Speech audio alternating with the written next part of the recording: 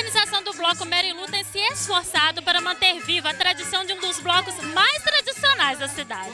Segundo a Luciana, presidente do Bloco Merilu, é necessário 8 mil reais para garantir o desfile nesta sexta-feira.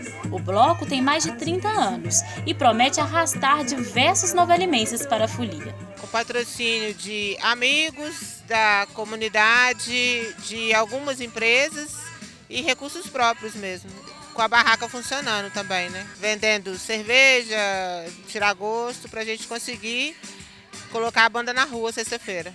Ó, eles podem entrar em contato pelo meu telefone, que é o 987-625513. Podem vir à barraca para comprar os abadás, que é um preço de 25 reais.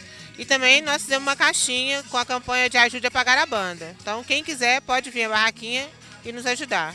Neste ano, o trajeto do bloco foi alterado. O desfile vai terminar próximo à Praça Coronel Aristides, em frente ao Banco do Bradesco. E o Merilu ainda vem acompanhado por outro bloco carnavalesco da cidade. Esse ano, o atraso do fórum vai descer com a gente, veio para somar esse ano. A partir de sexta-feira, né, nós vamos começar a concentração a partir das 19 horas. Esperamos todos aqui para a gente descer, fazer um carnaval alegre, feliz e um carnaval de paz.